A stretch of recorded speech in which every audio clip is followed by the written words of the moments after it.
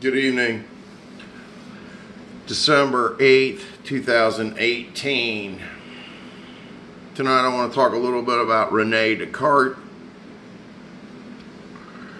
Descartes shows up around 1530 AD,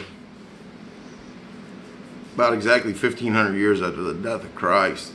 It's almost perfect. And to understand Descartes, and the Renaissance and all the wonderful art and all the other things that came out of the Renaissance, as well as the Church of England and especially the Vatican, the Catholic Church, trying to dominate the world and take it over to get their resources. it's important to understand what happened before the Renaissance. It would be the Black Plague was the biggest thing, the bubonic plague. The plague still exists. About 2,000 cases are found worldwide every year Tetracycline can work erythromycin. There are other drugs that can stop it now. Most people survive the Black Plague now. But when the plague happened, it happened for over 300 years. It wasn't like a month or two. And it deleted about two thirds to three quarters of the population in Europe. Part of the problem with the plague was unsanitary conditions. And what that meant was just they didn't have plumbing, they didn't take care of their trash, they didn't, some people just didn't understand good practices. Some people were just sort of ignorant, but they thought they could talk about it so they knew, but they didn't. It was like the ignorance were concerned about thinking you know everything when you know nothing.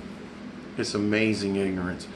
I know nothing, but I think I know everything and I can talk about it, so it's real. And I have 2.5 children and your government and you should support them for me. Hmm, interesting.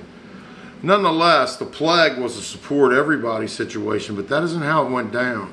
Nostradamus, as you know, Michel Nostradamus, the Nostradamus, made the rose hip pill with other herbs for people to ward off. Rose hips are high in vitamin C. Ask a polar bear, they'll tell you. High in vitamin C and he put other herbs in there to strengthen you and allow you to get through the plague. But other than Nostradamus as a physician who would write his quatrains later, and in secret too, um, it was an unbelievable thing what happened. At the beginning of the plague, people thought it was actually demonic possession that caused the plague, and when their neighbors would show up with the plague, they just basically nail them into their houses and burn their house down And once they found out what the plague was, it didn't matter if they thought it was the devil or not. They still burnt their freaking house down with them in it. And as time went on, enlightenment started to happen, but it took hundreds of years. And Nostradamus with his rosehip pills. And uh, more than that, uh, people were doomed. It was the dark ages, if you will. And it, it turned out to be linked up to trade, and the rats would bring the plague from country to country, and that's how it spread from the Middle East to here, Europe to here to the world. Middle East is where it started. And um, the reality was that uh, no one could stop the plague. It went on forever. The rats they thought were the ones that were infested. Yeah, they were, but it was the fleas on the rats that, that had the bubonic plague that made it so devastating. So, a little history there, a little longer than I wanted to go, but you know how it is. And Descartes has a couple things going on. In his Cartesian pro, you know, idea, the Cartesian principle, he basically tries to tell us that our mind is separate from our body. Now, this sounds really simple. Our mind is separate from our body and archaic in some ways because we know damn well it is. But the soul can still not be pointed to, just like Aristotle said. It's, it's not a liver or a kidney it's not a brain. It might be part of the brain, but the soul is invisible as an organ. So the soul exists as consciousness between the brain, from the brain, and the body. You got to have a body to have a soul.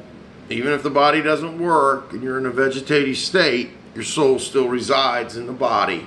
Your neighbor to your mind is your body. And Descartes starts out, he has a mind body problem, as I said. He's trying to figure out where the soul resides in some ways, but more than that, he's trying to figure out is it my mind or my body doing this to me? Which is happening, you know. And he starts out by describing that God is an evil genius, And he says, God is fooling us into all of this. None of it's real. And it wants us to do these things because we should see it this way, one way or another. And he talks about God as the unmoved mover, the one that hasn't been moved by anyone else except themselves. And how it comes down is at the end, for five meditations, Descartes comes up, and you could spend a whole semester on this easily, and maybe your lifetime. Descartes comes up with, I think, therefore I am. God exists because I can think of it.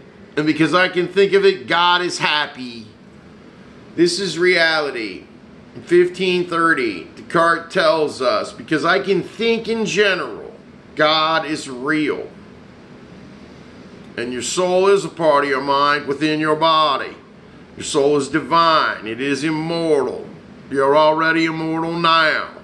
Descartes knew this is a good Christian.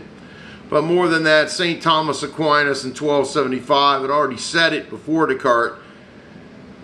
One rational faith is where we're heading now. You get up to Kant and Hegel, you'll see it. And of course, Schopenhauer's going to blow it all apart and say, hey, we're in pain. Where the hell's the faith today? Anxiety and angst. But the beauty of Descartes is, I think, therefore I am. And God exists because I can think. And therefore I am. Reality Hmm. Once again, out of the dark ages, Descartes shines. Rene Descartes, genius. Peace, y'all.